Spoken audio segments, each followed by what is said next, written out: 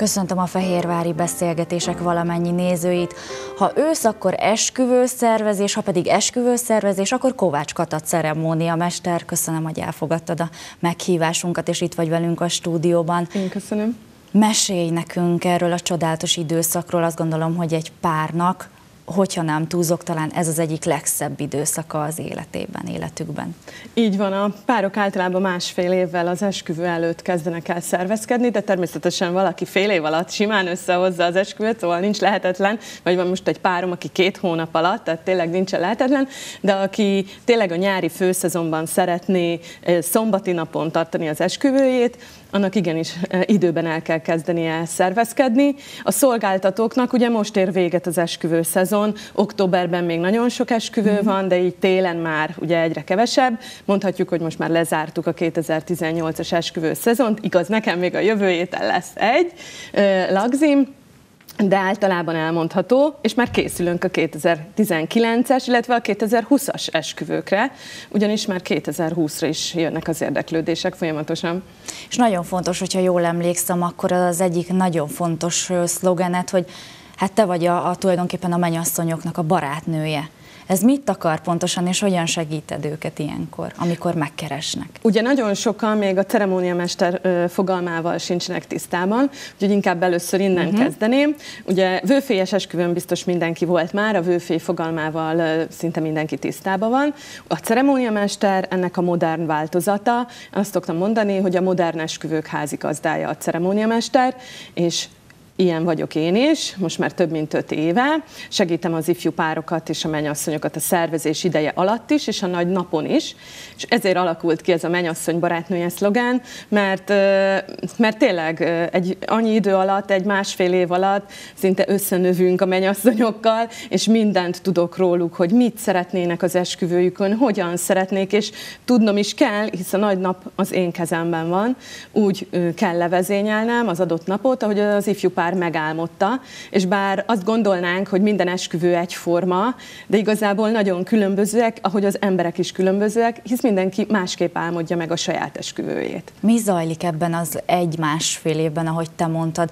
Mi az, amiben a segítségedet kéri? Gondolom azért itt van a személyre szabott segítség is, meg hát van valamiféle klasszikus vagy alapsegítség a részedről. Ugye attól függ, mikor kerülök bele az esküvő szervezés folyamatába. Valamikor én vagyok az első, akit megkeres a menyasszony, és akkor végig a többi szolgáltatót, fotóst, videós, DJ-t, zenekart segítem megtalálni, de van, amikor az esküvő szervezése alatt jönnek rá, hogy kell nekik egy kis segítség mindebbe, és mondjuk én vagyok az utolsó szolgáltató, akit megtalálnak, akkor már ugye a már meglévő információk alapján kell dolgoznom, de hogyha a kezdetektől a párral vagyok, akkor akár már abban is segítem őket, hogy hány órára rakják a nagynapon a szertartásokat, a templomit, illetve a polgári szertartás, hisz a nagy nap menetrendjét, a forgatókönyvet, azt segítem a pároknak megírni, úgyhogy úgy kezdődik, hogy igen, leülünk egy kávézóba, és egy másfél-két órán keresztül csak arról kérdezem őket,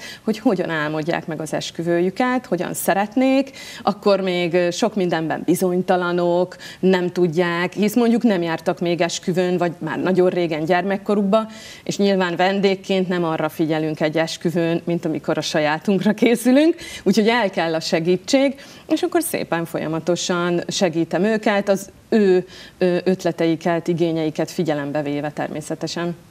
Öt év azért az nem olyan kevés idő, jubiláltál mondhatjuk. Igen. Milyen extrém óhajok, sóhajok merültek fel ebbe az öt évbe, ami olyan nagyon emlékezetes volt a pár részéről? Egyre gyakoribb, hogy hajón van a szertartás, és maga a szertartás is a mozgó hajón van, az nagyon gyönyörű a Balaton közepén, amikor suhanunk, és, és tényleg az egy leírhatatlan, szertartás vezetőként is, ceremóniamesterként is, ez egy, a vendégek el vannak ájulva, ilyenkor gyönyörű a panoráma. Igaz, a időjárás függő, tehát mindig kell készülni B-tervre, kell lenni B-tervnek, de a hajós esküvő most nagy divat, illetve az egyik legextrémebb talán elmondhatom, hogy volt egy Star Wars-os esküvőm is, amikor is Darth Vader és rohamosztagosok jelentek meg a szertartás alatt, és próbálták megakadályozni, hogy az ifjú menyasszony ne kelljen egybe urával, de természetesen vőlegényünk résen volt, megküzdött Darth Vaderrel, és ővé lett a asszony. Van is itt ehhez egy eszközünk, ez a, ez a piros eszköz. Mi ez pontosan, és hogyan történt pontosan ez az esemény, vagy ez az eset? Ugye a, a Star Wars rajongóknak nem kell bemutatni ezt a fénykardot, ami egyébként szól, világít és mindenféle funkciókat ellát. Én ezt a pártól több ilyen volt az esküvőn, volt a vőlegénynél, menyasszonynál, Darth Vadernél, nálam, tehát mindenkinél és rengeteget fotózkodtunk velük, és igazából funkciót az enyém nem látott el, uh-huh. de viszont egy nagyon jó emlék fűződik hozzá, és megkaptam a pártól, ezzel küzdöttek meg Darth Vaderrel. Úgyhogy, de nem, tényleg nagyon emlékezetes volt. Én néztem a NASZ nép reakcióját, hisz nem tudták, hogy mi fog itt igen, történni, igen, és azért ez nem minden esküvőn jelenik meg Darth Vader, de tényleg tényleg egy nagy, a párhoz illette ez természetesen, nem mindenkihez való Nyilván, egy ilyen igen. extrém esküvő, és de ő nekik igen, nagyon jól sült el. Tehát én, és a pároknak az szokott lenni a kérésük, hogy az ő esküvőjük legyen különleges, egyedi. Nyilván erre sokat kell készülni, fel kell bérelni egy Darth Vader-t, egy rohamosztagost, itt jelen esetben kettő is volt, úgyhogy erre készülni kell, de hát van ezer millió dolog, amivel különlegessé tudjuk tenni az esküvőket.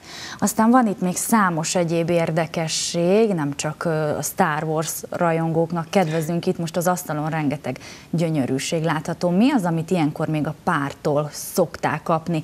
Menjünk esetleg uh-huh. akkor innen oldalról. Ugye most nagy divat, vannak? hogy köszönő ajándékkal uh-huh. készülnek a NÁSZ nép tagjainak az ifjú pár, és ez is, amilyen a pár, annyi különböző köszönő ajándék, amit össze tudunk kötni ültetőkártyával is, tehát hogy a nevük is rajta van. Például ez az idei nyár nagy kedvence nálam, a mindenki kapott színes bögréket, tehát nem mindenki pinket, én uh-huh. pinket kaptam, és a nevünk is rajta volt, tehát ültetőkártyával egybekötött köszönőajándék, és utána ezt lehetett használni már akár az esküvőn is. Nem csak gyerekek kaptak ilyen szép színeset, hanem tényleg mindenki, hisz bohém stílusú volt az esküvő, és illett a különböző uh-huh. színű pohár. Mm, de ez is egy ültető rá van írva, vagy Kovács Kata CM, bele van gravírozva a kis fában. Hát ez testre szabott, illetve hát ez, ez valóban azt igen, szimbolizálja, igen. ami tulajdonképpen az De valaki házi készítésű lekvárral ajándékozza meg az ifjú, vagy az ifjú pára násznépét, vagy hát ugye alkoholos italtartó üvegcsével, és rajta van, hogy Dóri és Márk, illetve a dátum. Mióta divat ez a köszönő ajándék? Én nem emlékszem, hogy olyan nagyon régóta menne ez, vagy trend lenne, de azért egy-két-három-négy éve már benne van ez a repertoárban. Amióta én esküvőzöm, azóta már ez, ez van, és hát nyilván nem tartja ezt mindenki fontosnak, tehát vannak olyan esküvők, ahol nincsen, vagy csak egy-egy csokival ajándék. Csak hogy az ifjú pár is ugye kap ajándékot a nász néptől. Ugye általában a menyecske tánckor uh-huh. gyűjtjük be ezeket a bizonyos a borítékokat, és hogy ők is megajándékozzák a, a násznépüket. Egy kedves emlék, egy gesztus, de például ott van gyufás katuja, kétféle is, az egyik Kriszti és Gábor, és Szandra uh-huh. és mhm. Dávid, Igen. abban ugye a gyertyafény keringőnél, mikor kiosztom a gyertyákat, meg kell ezeket a bizonyos gyertyákat gyújtani, vagy csillagszóroztunk Krisztiékes küvőjén, és mivel tudták, hogy gyufára lesz szükségünk, így előre készültek, és haza is tudták vinni, ott is tudták, hasznos ajándék volt, illetve egyedi, hisz ezzel sem találkozunk minden esküvőn, de valaki apró festményt ad köszönő ajándékként, nyilván nem ők készít készítették el, tehát megvan erre a megfelelő szolgáltató, aki apró festményeket készít, de van aki fotósarokban gondolkodik. Ez mit jelent ez a fotósarok? Pontosan ez nagyon új és nagyon trendi.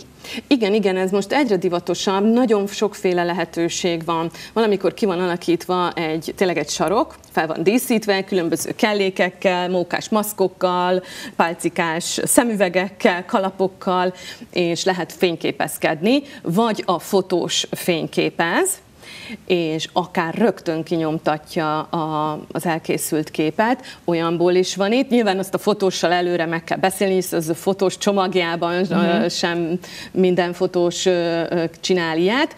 Viszont vannak erre kialakult szolgáltatók, én például a Selfie Busz nevezetű szolgáltatóval dolgoztam az idén nyáron, akik egy busszal, nagyon szép retro busszal, jöttek az esküvőre, és mi bemehettünk a buszba, ahol fényképezkedhettünk, és azonnal nyomtatta ki a képeket, illetve elkaptuk e-mailben, rögtön mehetett a közösségi oldalakra, nagyon nagy siker volt. Nagyon nagy siker volt, nem csak az ifjú párnak tetszett, idősnek, fiatalnak, volt, aki kis akart szállni a buszból, illetve szóval, és, és egy jó emlék, hisz hisz nem csak e-mailbe kapjuk meg, hanem igen, nyomtatott igen. formában is ott azonnal. Nem szorul egyébként ezek által az új vagy trendi dolgok által háttérbe egy kicsit ez a klasszikus, jól bevett szokásokkal telített esküvő? Tehát, hogy mennyire nyomja ez mhm. el a, ezeket a régi Én akkor szoktam ezeket a hát, programokat javasolni az esküvőn, ha sok időnk van. Mert nyilván, hogyha mondjuk este fél hétkor van a szertartás, mert csak akkor kapott az ifjú pár időpontot, és örülünk, hogy eljutunk a helyszínre, és nyolckor már elkezdődik a vacsora, akkor nincs Igen. idő mondjuk egy ilyen... Tehát egy ilyen időkitöltő, tulajdonképpen szórakoztató, Igen és hát te ennek az élén vagy tulajdonképpen, Igen, hogy akkor minél jobban érezzék magukat. Engem már a, a műsor eleje óta nagyon foglalkoztat, Igen. hogy ebben a fekete dobozban, bőröntben mi lehet? Ebben a szertartásra a gyűrűt hozhatjuk, hogyha van egy kisfiú a násznép között, aki meg van bízva, vagy a gyűrű hordó, ő a, a gyűrű őrzője, akkor van egy ilyen biztonsági dobozunk, és nyilván ezt sem mindegyik pár kéri, vagy igényli, de ez az én sajátom, és kölcsön szoktam adni, hogyha szeretnék a párok, hogy ebben érkezzen meg a szertartásra a gyűrű, jó kis humoros felirattal, jól mutat a fényképeken, és akkor ebből veszik elő a gyűrűket. Koszorús lányok, uh-huh. mennyire divat ez ma, ha már gyűrű szertartás, ugye azért ott nekik nagyon nagy szerepe szokott lenni fontos szerepe koszorús lányoknak és kísérőiknek. Mennyire divat ez ma? Én azt mondom, hogy 80%-ban általában van koszorús lány, pici vagy felnőtt koszorús lány, ez ugye attól függ, hogy hány éves a mennyasszony, hány évesek a rokonok, de a gyűrűhordók vagy sziromszóró kislányok, azok előszeretettel vannak az esküvőn, illetve van, ahol mondjuk a mennyasszony a barátnői között az első a sorba, így akár 8-10 fős koszorús lány csapat is állhat a mennyasszony mellett, és hogyha egyforma színben vannak, nem feltétlenül kell, hogy egyforma ruhában legyenek, de egyforma színű ruhában vannak, akkor gyönyörű fényképeket lehet készíteni. Meg és hát aztán ötlet... sorakoznak a csokorért, igen. hogy elkaphassák, és megtudják, hogy ki lesz a következő igen, a igen. sorban. Valamikor nem annyira lelkesek, de azért vagyok én ott, hogy lelkessé tegyük őket. Tehát akkor mondhatjuk, hogy visszatérve november, őszi hónapok nagyon-nagyon időben vannak még azok, akik esetleg még most vagy majd esetleg az ünnepek közelettével jegyzik el a párjukat. Igen, nagyon fontos, hogy az időpontot lefoglalják a polgármesteri hivatalba. Az megvan, illetve a helyszín, ez a két legfontosabb, ezt szoktam mondani, akkor ugye jönnek a többi szolgáltatók, van, aki már 2020-ra is vannak foglalt időpontjai, úgyhogy érdemes elkezdeni igen a szervezkedés, de igen, decemberben az eljegyzés, ugye karácsony, eljegyzési időszak, utána rohamosan jönnek az árajánlatkérések, és akkor el kell kezdeni dolgozni, igen, a Mondhatjuk, hogy akkor tulajdonképpen turbo üzemmódban dolgozol már most a 2019-es esküvőkön? Igen, hisz az ifjú párok is hétfőtől péntekig dolgoznak, mikor érnek rá hétvégén, úgyhogy a hétvégén most ö, esküvő ugye már kevesebb, de az ifjú párokkal telik, leülünk, beszélünk, tervezünk, ami aztán lehet, hogy a nagy napon teljesen felborul mondjuk egy időjárásnak köszönhetően, de hát mivel van B-terv, ezért nem ér minket váratlanul, úgyhogy tervezünk, tervezünk, tervezünk, és, és gondolkodunk előre, hogy az esetleges problémákat kiküszöböljük, és mindenkinek jó legyen, hisz mindenkinek mások az igények. És hogy kicsit átevezzünk a zene világába, azért régen a klasszikus mulatós zenék azt gondolom, hogy elengedhetetlen eszközei, hogy így mondjam, vagy kellékei voltak egy igazi lakodalomnak, most már, ahogy az előbb említetted, a DJ-k sorakoznak ugye az esküvők soraiban, vagy a repertoárban. Itt mi a helyzet? Mulatos, DJ, popslágerek, Hú, nagyon jazz, változatos. mi az, ami, ami, ami most menő? Uh-huh. Nagyon változatos az én esküvőimen, hisz ahol ceremóniamestert hívnak, általában modernebb dolgokra vevő a pár. Uh-huh. Tehát általában DJ van, de sok zenekarral is dolgoztam már uh-huh. természetesen, de így az esetek 70-80 százalékában DJ-s esküvőim aha, aha. vannak hisz ö, azt gondolják, hogy modernebb vonulatot képvisel a DJ, holott a zenekar is nagyon ö, jó zenekart választunk, akkor az nagyon jó tud lenni. Tehát én nem szoktam senkit lebeszélni semmiről, mm-hmm. vagy mhm, rábeszélni, de vannak de nagyon... De a tapasztalataidat elmondod, persze, hogy mikor persze, mit persze, de abban általában mindig a párok tudják, hogy DJ vagy zenekar, tehát nem szoktak sokat vacilálni, én mindenkiből tudok mondani jót, és a mulatós része sokszor tiltólistás. Ez most úgymond trend. Mennyasszony részéről, vagy inkább a vőlegény? Van-e ilyen statisztika? Mindkettő, hogy... mindkettő, mindkettő részéről. A menyecske természetesen azért még a magyaros zene uh-huh. megjelenik, valamikor csak arra van szűkítve, vagy abban a fél órában lehet csak mulatos, viszont azért a násznép igényli, hisz mégiscsak lagziban vagyunk, uh-huh. és a magyar hagyományokhoz, a magyar kultúrához igenis a jó kis mulatós is hozzátartozik.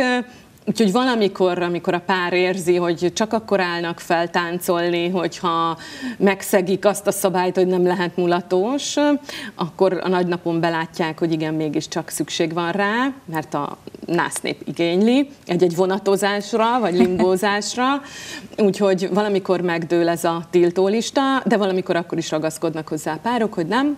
Sőt, valamikor a menyecske táncnál sincs aha, aha. magyaros, olyan is volt már, hogy latin zenére menyecske táncoltunk, úgyhogy tényleg széles a paletta, de én azt mondom, hogy ha nem is az egész lagzi legyen mulatós, de legyen benne olyan rész, hisz vannak idősebbek, idősebbek is, akik Egy kicsit akiknek a báli hozzá. korszakot idézhetik ezek a mulatós Így zenék van, talán. meg hát ugye valakinek már az a ceremóniamester dolog is furcsa, hisz a vőféhez szokott hozzá, vőféjel együtt járnak a magyaros, magyaros hagyományos uh-huh, dolgok, uh-huh, uh-huh. és ezt várják, nem ezt kapják, és kicsit furcsál tolják a De dolgokat. hát a modern korral haladni kell mindenkinek. Aztán hogy... természetesen jól jövünk ki általában ebből az egész dologból, de azért kell figyelni a nász nép igényeit.